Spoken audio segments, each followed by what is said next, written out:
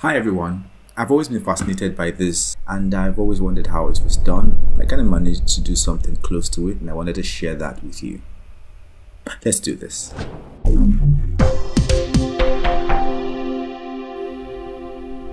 So I downloaded this um, footage from Pixabay.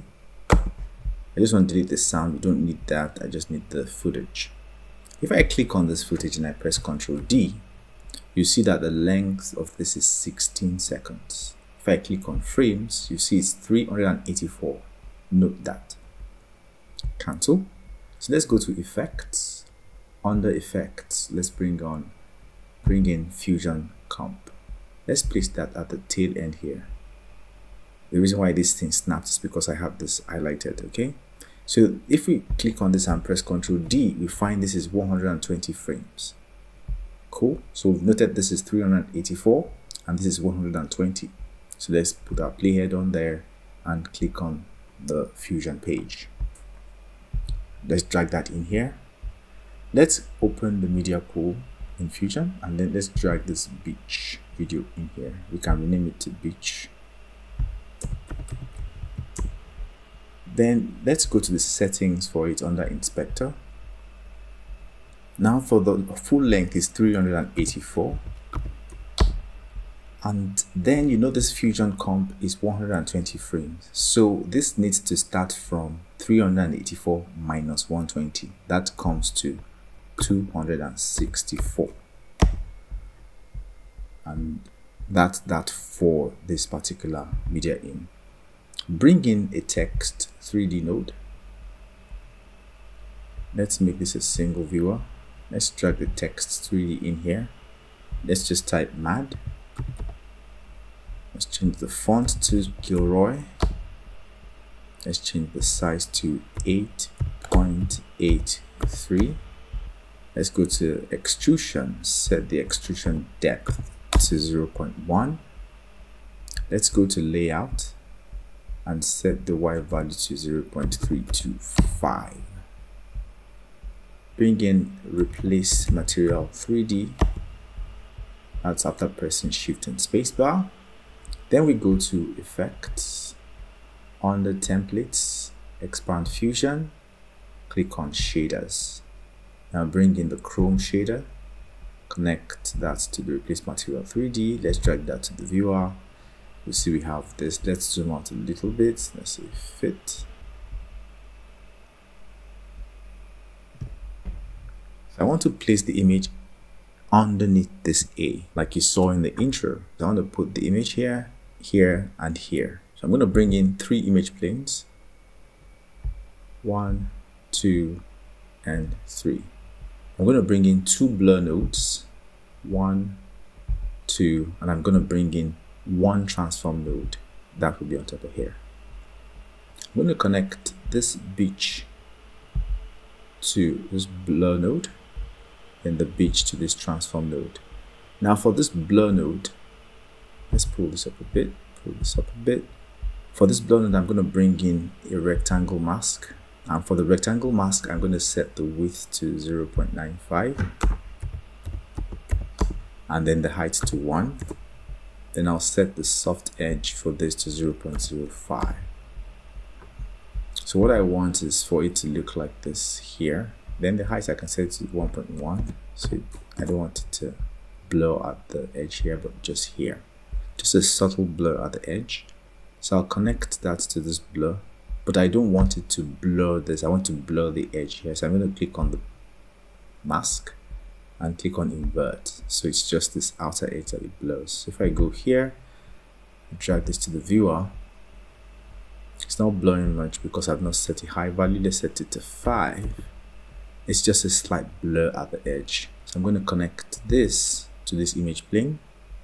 Now for this other one I'm going to click on this transform flip it horizontally connect this to the input of this blur set this blur to 5 and connect it to both this image plane and this other image plane. Now for this image plane we're going to set a bunch of values. So click on this image plane go to transform and for the x value we're going to set it to 0.312 the y value we're going to set it to 0.455 we're going to set the z value to 0.425 for the x rotation we're going to set that to 90 and we're going to go to scale and set this to 1.55 I bring in a merge node here and I connect this to the merge node and connect this replace material to the merge node and I drag that to the viewer you'll see that the tech the image is perfectly positioned in there.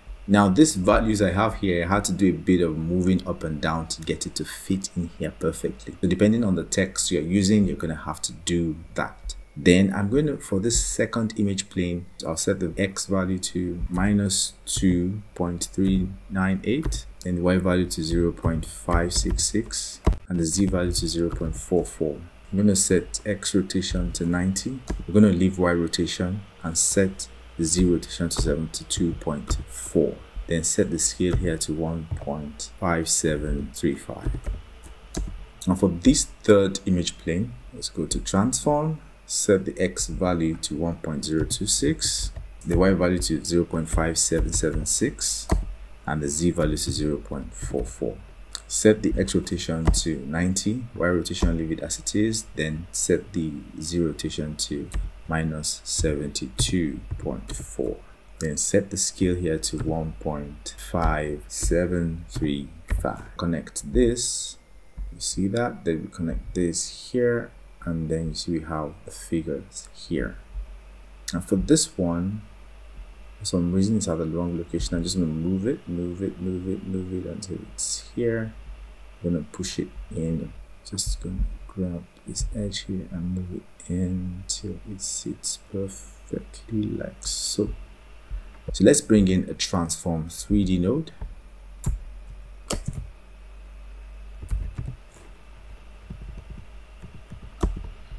Connect this to the transform 3d go in here shift spacebar bring in a merge 3d then shift spacebar bring in a renderer 3d for the renderer 3d go here hardware renderer set the lighting and shadows. Now for the lighting let's bring in shift spacebar bring in a directional light. Then let's bring in an ambient light. Let's connect the ambient light here. Mm-hmm.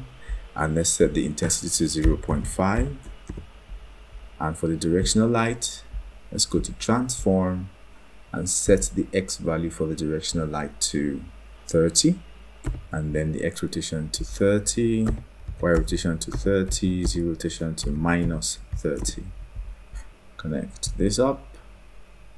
And let's look at what we've got.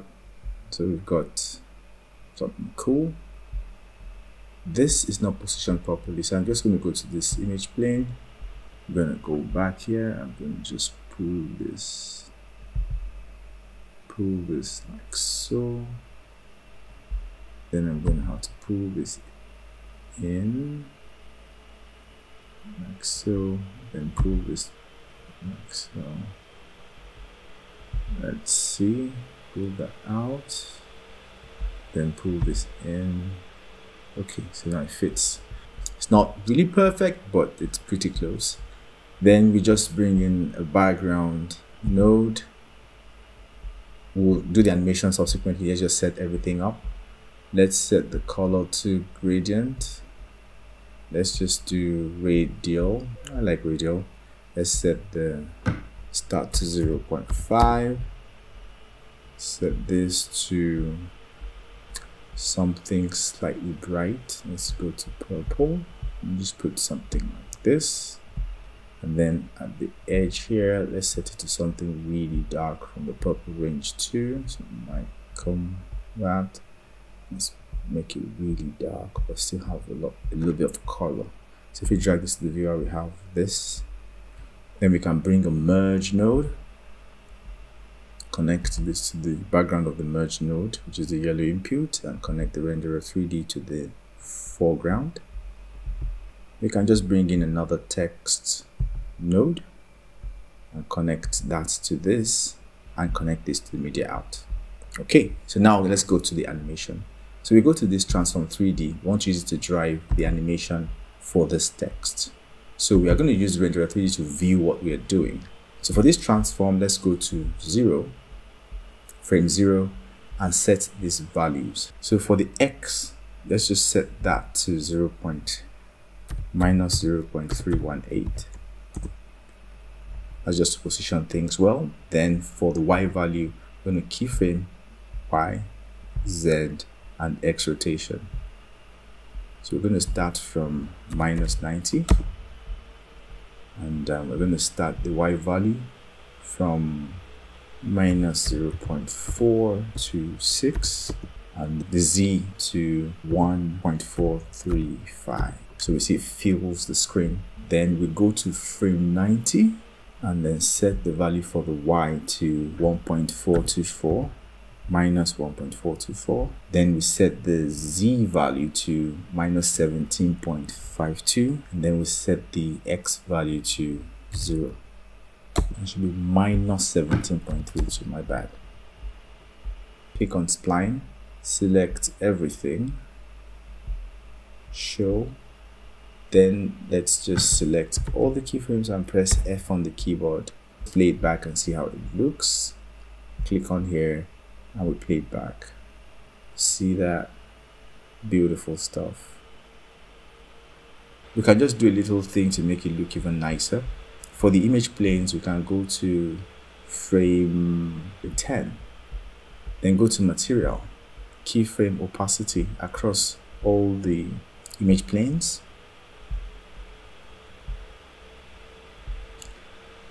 like so then we go to like frame let's go to frame where yeah it's about to completely disappear. Something about this point maybe frame 60 yeah something like this.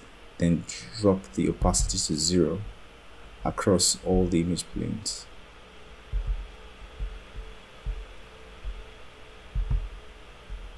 Cool. So now when you play it back it looks a bit more interesting play that in real so it's just beautiful stuff. So that's that's that about the animation. If we go to this background you see it's sitting on this background. We just want to put text on it. So i'm just going to click on here i'm just going to type um, resolve. I want to change it to some kind of cursive text. Christina. You can just pick any cursive text. Let's increase this. The whole point of this tutorial is just to show you how i did it you can use any font you wish. I'll just drag this down a bit like so. And let's color this maybe red. Yeah. Then I just get it to fade towards towards this. Yeah at this point I'm just to go to merge. Click on this blend drag it to zero then at frame 100 increase the blend to that. And uh, let's see towards the end. And yeah, probably wants to move up just a bit so it's just not. So I'm going to click on here go to the merge keyframe this go to the end here keyframe it then go to the first keyframe and um, let's drag that down a bit. So then we go to spline editor displacement we just click on zoom to fit select all of this and press F on the keyboard and close the spline editor. If it plays in real time now you see this. Okay so that's basically it. If you now want to join this to the actual footage. if we go back to the edit page we see we have this here right? So what we're going to do is just drag this cut this up to this point. Let's just drag this back a bit like so like so so we, that means we're expanding it. You see that figure on there it says minus 2 3 so now we have 2 3 added. If you go to part of the fusion comp you'll see we have this here minus 23 so we're going to go to this media in this beach. We're going to minus 23 here minus 23 press enter and then we'll drag this to the beginning like so we are done with the fusion comp. Then we go back to this page. I'll just drag this header here to fade it dissolve gradually. So if we want this to now play in real time we can either enable render cache or we can just select all two of them right click on it new compound clip enter. Then right click on both on that and say render in place. Let's just say I pick H.265 I just say render. Then let's say we do full screen and then you see what we just worked on.